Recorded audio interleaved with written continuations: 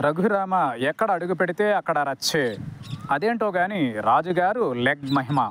ఆయన కాలు పెడితే చాలు రచ్చ రంబోలానే. అధికార పార్టీ తరఫున ఎన్నికై నాలుగేళ్ళ పాటు తమకు సేవలు అందించిన రాజు రుణం తీర్చుకోవడానికి చంద్రబాబు సుముఖంగా ఉన్నారు. చంద్రబాబు తనదైన తెలివితేటలతో నరసాపురం ఎంపీ సీట్ను బీజేపీ కోటాలో ఇప్పించాలని చివరి క్షణం వరకు ప్రయత్నించారు. ఏం చేద్దాం? రాజు టైం బాగాలేదు. ఇప్పుడు ఒకరి టైమే నడవదు కదా. ఆ విషయం రఘురామకృష్ణంరాజుకు తెలిసినంతగా మరెవరికీ తెలియదు. పొత్తులో భాగంగా బీజేపీకి ఆరు ఎంపీ స్థానాలు దక్కాయి. ఇందులో నరసాపురం నుంచి బీజేపీ ఏకైక నిఖార్సైన నేత వర్మకు టికెట్ దక్కడం విశేషం.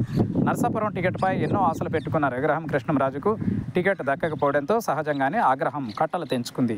ఏపీ బీజేపీ నేతలు పురంధేశ్వరి సోము వీర్రాజుపై తన మార్క్ ఆరోపణలు చేశారు. పనిలో పనిగా చంద్రబాబు కూడా చురకలు అంటించారు రఘురామకృష్ణంరాజు ఫ్యాన్ ఫాలోయింగ్ ఎక్కువే. అరే మన కోసం దెబ్బలు తిని నాలుగేళ్ళుగా జగన్కు వ్యతిరేకంగా అలుపెరగిన పోరాటం చేస్తున్నారు. రఘురామకు టికెట్ ఇవ్వకపోవడం ఏంటని ఆయన కోసం ఉద్యమాలు జరిగాయి. దీంతో ఎట్టకేలకు చంద్రబాబు దిగొచ్చారు. ఒక శుభ ముహూర్తాన ఆయన మెడలో పసుపు కండువ పడింది. దీంతో ఆయన వైసీపీ రెబల్ నాయకుడు కాస్త అధికారిక పసుపు దళ నాయకుడయ్యారు.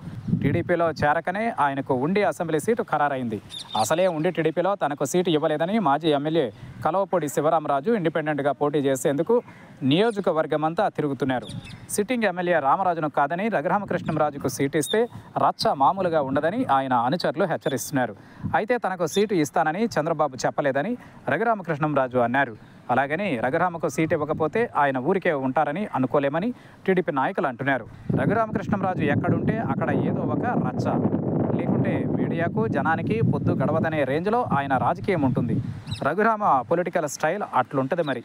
అన్నీ తెలిసే కదా ఆయన్ని ఇష్టపడి మెడలో పసుపు కండువ వేసింది. కోరి తెచ్చుకునే నాయకుడి కోసం ఆ మాత్రం రచ్చన ఎదుర్కోలేకపోతే ఎట్లా? కానివ్వండి.